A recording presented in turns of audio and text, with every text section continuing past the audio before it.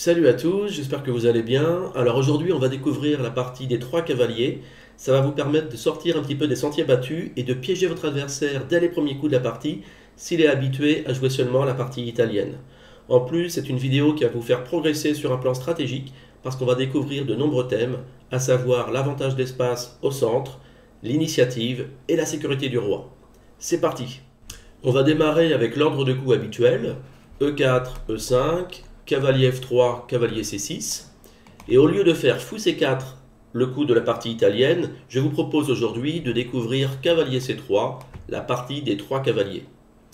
Beaucoup de vos adversaires qui ne connaissent pas cette ouverture vont être un petit peu déstabilisés et auront tendance à jouer comme d'habitude de manière mécanique le coup fou C5 de la partie italienne. Et on va voir que ce coup n'est pas bon dans la partie des trois cavaliers parce que les blancs vont pouvoir prendre avantage immédiatement en faisant un coup assez spectaculaire, cavalier prend e5.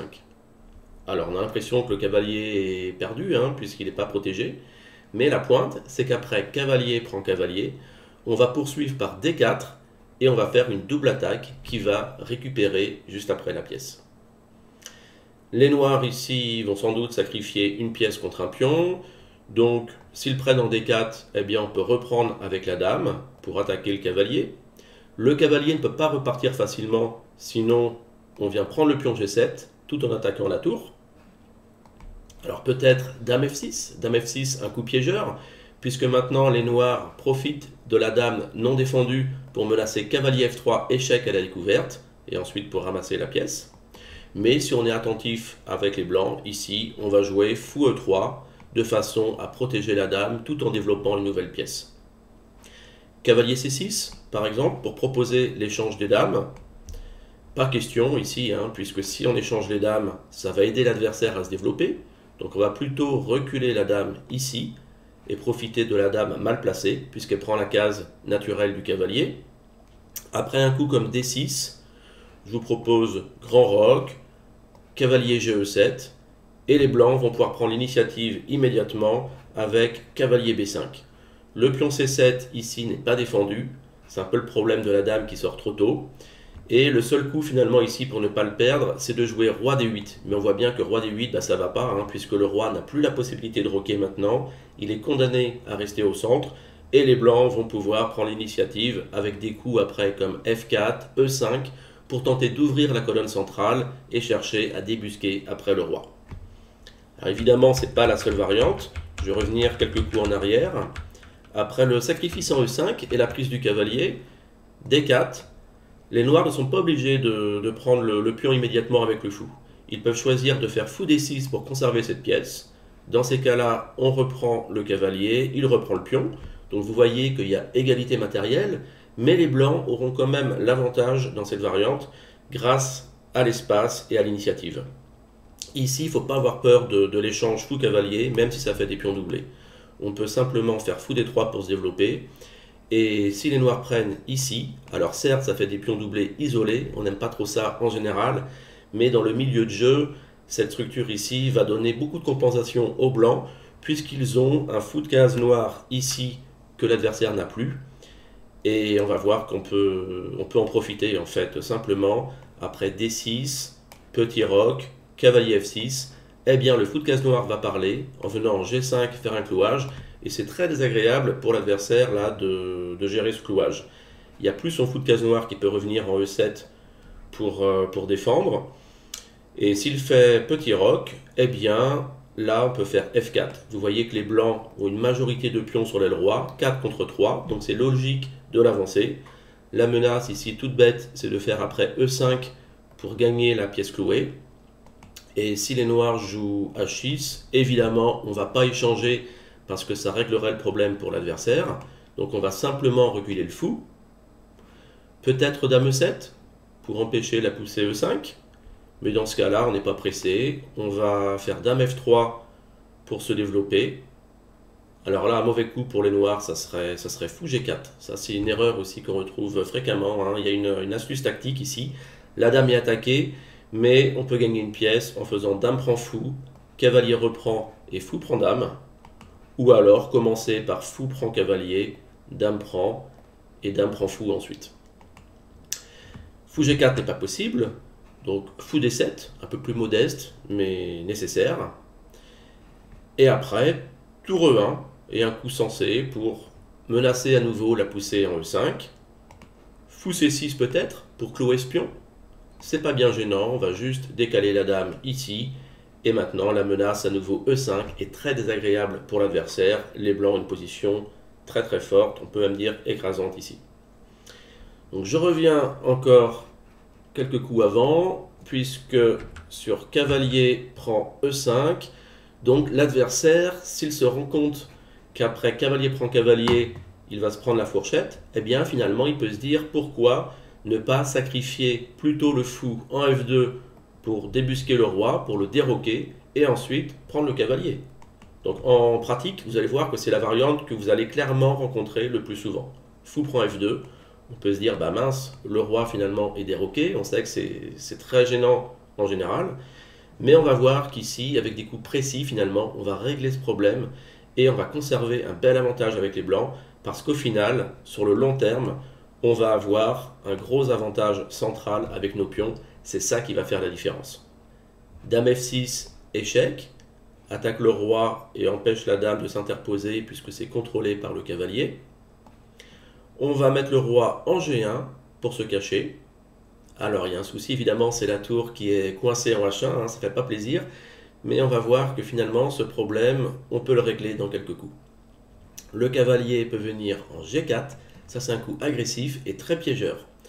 Pourquoi? Eh bien, déjà, il y a la menace dame F2, échec et mat. Et en plus, on peut se dire, mais cavalier G4, c'est peut-être une gaffe, parce que la pièce n'est pas défendue. Alors attention, dans vos parties, quand l'adversaire vous donne un pion ou une pièce, il ne faut pas se précipiter dessus. Il faut toujours prendre le temps de voir si ce n'est pas un piège et calculer un petit peu les variantes. Et effectivement, ici, si on prend le cavalier, il y a le terrible dame D4, échec.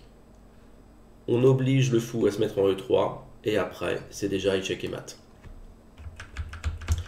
D'un autre côté, après cavalier G4, il faut donc défendre cette menace. On ne peut pas faire dame 2 parce qu'il y a encore dame D4 échec qui oblige le fou à se positionner en E3. Mais après l'échange ici, les noirs vont rester avec une pièce de plus. Alors après cavalier G4, je vous propose de mettre la vidéo sur pause et de chercher le bon coup pour les blancs. Si vous avez trouvé Dame D2, bravo, c'est un coup qui n'est pas évident à trouver, c'est pas naturel puisque ça bloque la sortie du fou, et pourtant c'est le bon coup puisque c'est le seul qui permet de contrôler à la fois les cases F2 et D4 avec sa dame. Après Dame D2, les noirs n'ont plus vraiment de coup d'attaque, ils vont jouer sans doute D6 pour empêcher le pion d'avancer, et après D6, eh bien, le ressort va se desserrer pour les blancs, on va faire H3 pour chasser le cavalier qui va devoir se rapatrier sur une case peu enviable en H6. Fou C4, on se développe maintenant qu'on n'est plus attaqué. Cavalier E7 par exemple pour préparer le petit roc. Et maintenant, on va jouer Roi H2, un super coup pour libérer la tour et venir ensuite s'activer en F1. Vous voyez que le roi ne peut pas être mis en échec hein, dans cette position, donc euh, il a une position plutôt bien sécure. Et après petit roc, eh bien, tour F1. On attaque la dame, et on voit qu'en quelques coups seulement, la position s'est bien retournée en termes d'activité, puisque les blancs ont un fou super actif qui vise F7, la tour sur la colonne se met ouverte, on a les deux pions centraux qui nous donnent de l'espace, donc là la position des noirs est très délicate.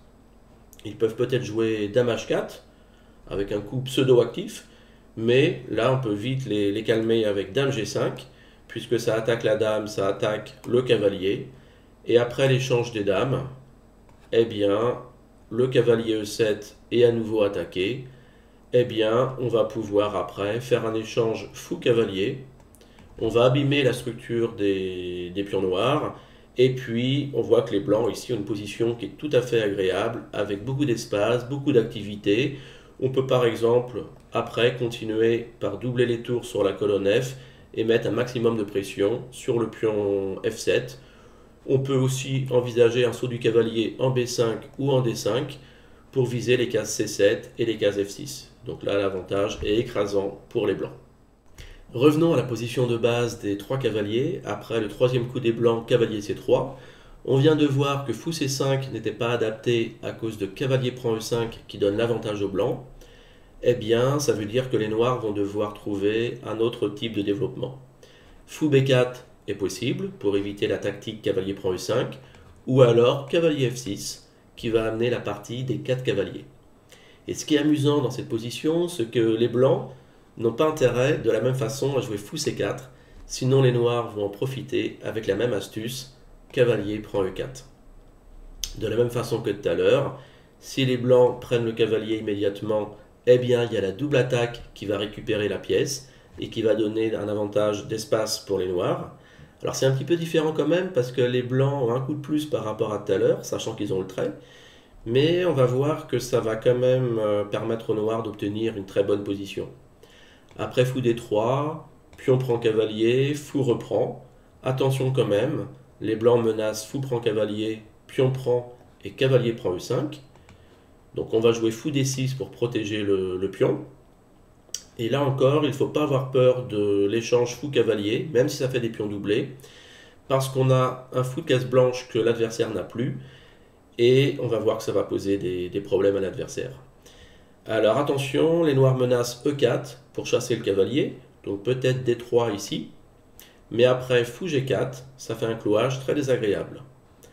Petit roc, petit roc. Si les blancs font H3, évidemment, le fou va reculer pour garder le clouage.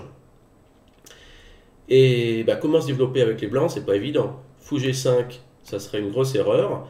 Parce que là, il y a une tactique assez connue aussi, c'est fou prend cavalier, avec l'idée dame prend fou, dame prend G5 qui gagne une pièce. Et sur fou prend F3, si le fou prend la dame en D8, eh bien les noirs vont prendre la dame. Et après, tour prend fou, tour prend fou, on voit que les noirs restent avec une pièce de plus. Donc je remets la position, Fou G5 n'est pas possible, peut-être Fou E3, mais dans ce cas-là, eh bien, on va s'emparer l'initiative, on va faire F5, et là, il y a pas mal d'idées après pour les noirs, par exemple, tour F6, tour G6 pour venir attaquer sur les rois, ou alors simplement mettre la dame en F6, et après jouer tour E8 avec la menace E4 pour s'en prendre au cavalier cloué. Pour terminer cette vidéo, on retourne donc sur la position des 4 cavaliers. On vient de voir que fou c4 n'était pas bon pour les blancs. Eh bien ici, il y a deux coups possibles, le fou en b5 ou alors la poussée en d4. Moi j'aime bien la pousser en d4 parce que ça va retomber dans la partie écossaise qu'on a déjà vue dans différentes vidéos. Donc d'ailleurs je vais vous mettre le lien dans la description hein, parce que je ne vais pas tout reprendre ici. Mais en quelques coups je peux vous montrer comment ça va se passer. Donc après D4, on attaque deux fois le pion E5. Les noirs généralement prennent en D4. On reprend comme ceci. Les noirs continuent avec fou B4 pour clouer le cavalier et menacer de prendre le pion. Fou D3 n'est pas possible. Attention, ça perdrait le cavalier. Donc on va d'abord faire un échange en C6. Pion prend. Fou D3, maintenant ça protège. Et après, on va continuer avec petit roc et le fou en G5. Mais bon, je vous conseille de revoir la, vidéo sur l'écossaise, hein, puisqu'il y a beaucoup plus d'explications et ça va un peu plus loin dans, les variantes.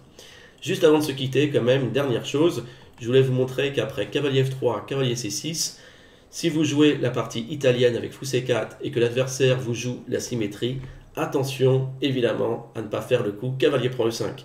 Parce que si vous voulez faire la même variante en faisant ça, ça et D4, pour faire la double attaque, la grosse différence, c'est que votre fou C4 est attaqué par le cavalier. Et donc l'adversaire va vous prendre une deuxième pièce, et après, pion prend C5, eh bien on voit que les blancs restent avec une pièce de moins.